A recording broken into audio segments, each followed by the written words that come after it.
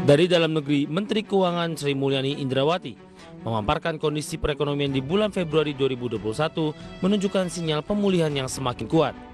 Hal tersebut dapat dilihat dari realisasi pendapatan negara hingga akhir Februari 2021 yang mencapai 219,2 triliun rupiah atau 12,6 persen dari target APBN sebesar 1.743,6 triliun rupiah. Sri Mulyani menekankan yang menarik dan positif ialah pendapatan negara sudah tumbuh 0,7 persen.